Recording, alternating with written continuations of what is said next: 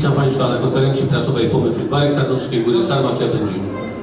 Witam trenerów obydwu drużyn, pana Seweryna Siemianowskiego i Jarosława Pysia.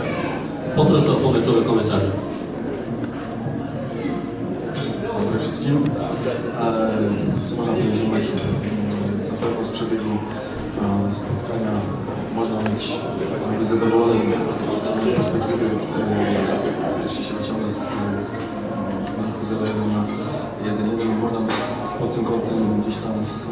satysfakcjonowany, ale e, tak patrząc obiektywnie nawet to e, duży niedolny dosyć bo mecz był myślę, że e, gdzieś tam z lekką naszą przewagą, z większą ilością sytuacji i e, mógł się potoczyć trochę, trochę inaczej, ale mówię, trzeba szanować ten punkt i, i bardzo dobry e, poziom myślę, e, zresztą nazywa się poziom piłkarski nawet nie było widać czy, czy jakie któryś z zawodników jest młodzieżowcem, czy nie, było to, było to dosyć fajnie pokazane duże zaangażowanie w grze, wręcz walki, ale też mówię jakości tego, dużo sytuacji bramkowych i e, mówię, no skuteczność gdzieś tam troszeczkę gdzieś ucierpiała i, się tak skończyło, jak się skończyło końcówka meczu, nawet już, nawet może nie końcówka, ale nawet 30 minut ostatnie, to że wymiana ciosów na rynku bokserskim jedną stronę, tak jak w angielskim, to, to się podoba ludziom, także yy, to ten futbol trzeba oglądać, że nie wiem, że wszyscy stoją, cały czas jest, jest yy, duże, duże bieganie, poparte właśnie na dobrym przygotowaniu fizycznym, bo myślę, że dobrze wyglądali chłopcy się fizycznie i yy, no mówię, popadli to też umiejętnościami technicznymi, taktycznymi i to, i to dosyć, yy, dosyć, dosyć wychowanie się oglądało z boku, także yy, pozytywny, pozytywny mecz i, i, mówię, trzeba szanować ten punkt. Myślę, że wszyscy też powinni być z tego gdzieś tam yy, zadowoleni. Domek, Dziękuję. słabo słychać, nie słychać. Trener Siemianowski tak szczegółowo i bardzo dobrze myślę opisał mecz, że nie mam tu nic do dodania, jeżeli chodzi o, o już nasz zespół. E, no to cóż, teraz e, cieszymy się z tego punktu, bo Sarmacja jest dla nas bardzo niewygodnym przeciwnikiem. To drużyna, jak, dzisiaj pokazali, e, poukładana, doskonale przygotowana, ciągle sprawiająca nam kłopoty.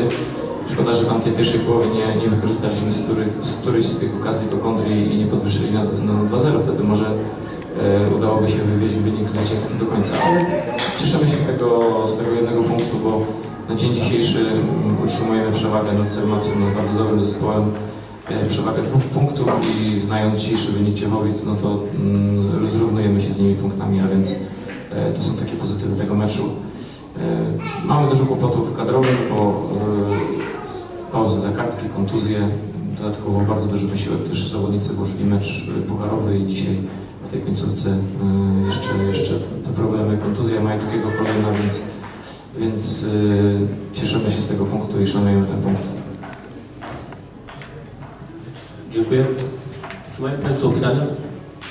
Pytanie do trenera gości. Bardzo dobry mecz w Waszym wykonaniu. Yy, Chciałbym się dowiedzieć, co trener powiedział yy, zawodnikom w przerwie meczu przed wyjściem na drugą połowę. E, W szatni wiadomo, jak szatni czasami są tajemnice, ale tam uchylę trochę rąka e, tajemnicy powiedziałem, że za chwilę będziemy robić już zmiany, ale żeby jeszcze też te 10 minut w tym systemie zostać i zobaczymy, co się wydarzy. E, I, też, też za chwilę e, padła bramka wyrównująca. Te, te zmiany, które potem następnie jeszcze weszły, także wszystkie były raczej pozytywne, raczej nie mogę powiedzieć, że nie.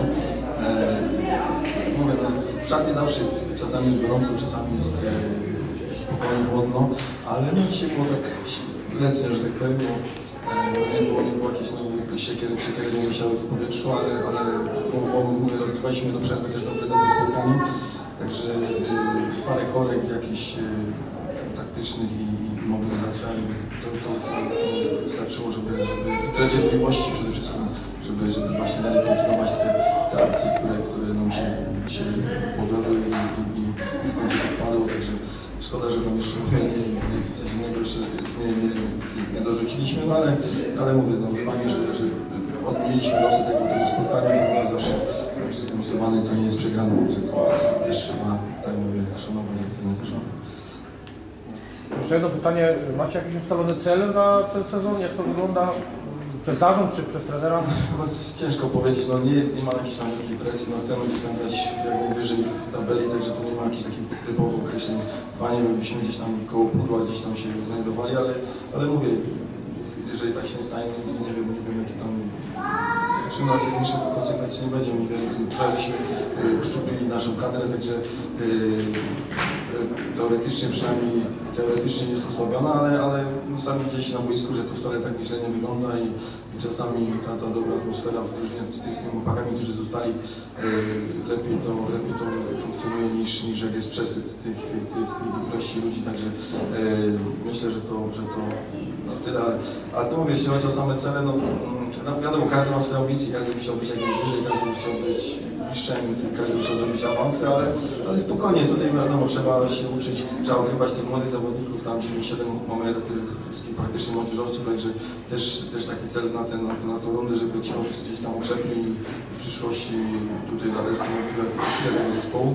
A mówię, no zobaczymy jak, y, jak, jak, jak się dalej będą toczyć losy klubu i myślę, że, że pozytywnie, bo, bo, wszyscy pozytywnie myślą, ja szczególnie także jestem naszym pozytywnie, pozytywnie myślącym człowiekiem. Dziękuję. Dzięki. Dziękuję. Czy są jeszcze jakieś pytania? Jeśli nie, to dziękuję Państwu za przybycie i zapraszam po kolejnym meczu.